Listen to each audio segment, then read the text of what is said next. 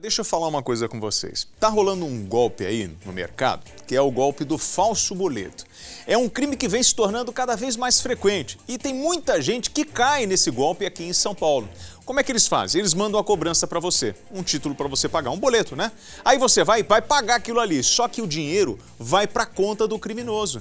E você vai ter agora algumas dicas para não cair nessa armadilha dos bandidos e não perder a tua grana, porque depois, filhinho, você não consegue recuperar a grana nunca mais. É hora de acompanhar a reportagem do dia.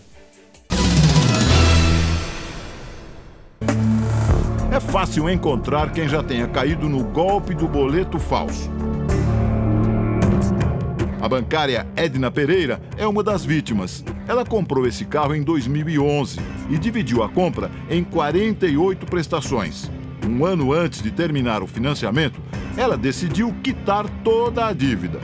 Eles me falaram: olha, senhora, a gente vai, vai pensar, vai, vai passar para o banco para ver o que, que o banco vai dizer disso e a senhora tem que aguardar. Cinco minutos depois, me retornaram e falaram que eram da instituição financeira confirmaram todos os meus dados, inclusive os dados do veículo. Dias depois, ela recebeu por e-mail um boleto bancário no valor de R$ 2.481. Esse é o comprovante de, de pagamento. Da dívida, né? Isso, esse é o, o compro... e esse aqui é o, é o boleto.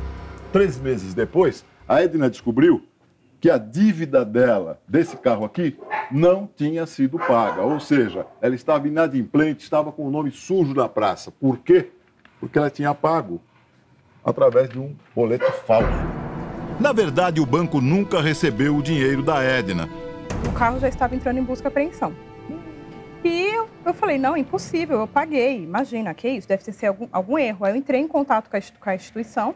Falei, olha, o que está acontecendo? Eu paguei, eu quitei. Levou lá o Levei, apresentei o comprovante de pagamento para eles. E disseram o quê? E me falaram, não, não consta nenhum pagamento aqui. No começo do ano, muita gente recebeu um boleto falso, como este aqui, por exemplo, para pagamento do IPVA, o Imposto sobre Propriedade de Veículos Automotores. O João é um deles. Ele recebeu esse documento aqui, esse boleto, mas acabou não pagando. Ele foi alertado por um sobrinho dele de que esse boleto era falso. Uma pessoa leiga não vai ah. reconhecer mas ele, como trabalhou no banco, ele viu que chegou através de um envelope. Esse código de barra, quando a pessoa paga no banco, ah. ele não vai o pagamento para o Detran, vai para Entendi. as pessoas que estão fazendo essas, esse tipo de falcatrua.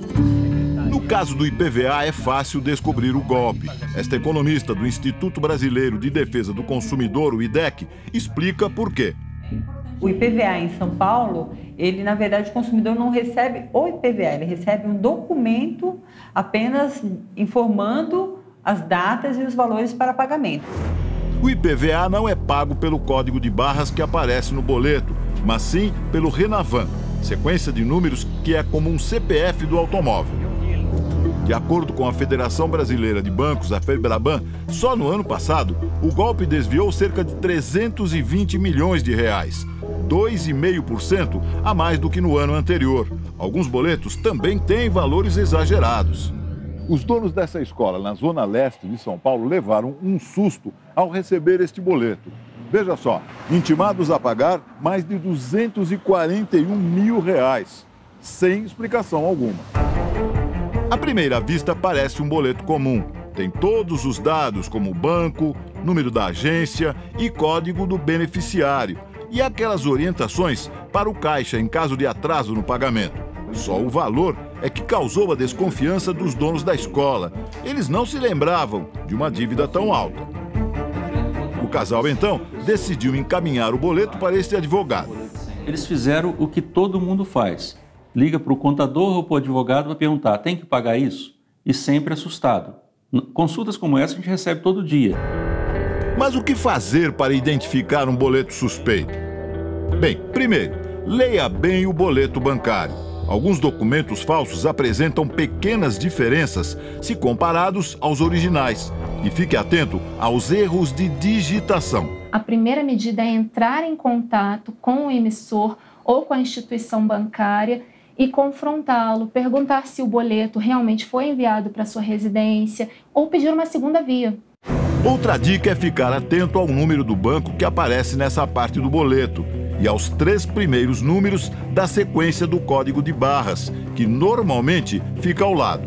Esses números devem ser iguais. Um detalhe muito importante: o consumidor nunca vai conseguir pagar um boleto falso através do leitor ótico. Os documentos não são reconhecidos pelas leitoras dos bancos ou dos caixas eletrônicos. E o que fazer quando a pessoa descobre que foi vítima do boleto falso? ela pode recorrer, ela deve entrar em contato com a empresa fornecedora e com o banco, que eles são corresponsáveis por ter acesso aos dados, eles que detêm essa informação. Será que é possível reaver o dinheiro? Muito difícil, mas ele tem que entrar com uma ação é, na justiça. E é importante que, quando ele é vítima, que ele identifica que foi vítima dessa, dessa ocorrência, registrar um boletim de ocorrência. Nós entramos em contato com os dois bancos que aparecem nos boletos falsos. Eles informaram que estão investigando o caso, mas ainda não apresentaram nenhuma solução para os clientes. A partir de julho, novas regras para a emissão de boletos bancários prometem deixar a transação mais segura o boleto vai ser registrado e o sistema bancário não vai mais aceitar um boleto apócrifo, que é um boleto criado, por exemplo, por uma quadrilha de estelionatários. Então, quando essa quadrilha conseguir fazer a substituição desse boleto, trocar os dados e a pessoa não perceber que o boleto é falso e for efetuar o pagamento, o sistema do banco não vai aceitar o pagamento. Até lá, todo cuidado é pouco. E a atenção precisa ser redobrada para não facilitar a vida dos golpistas.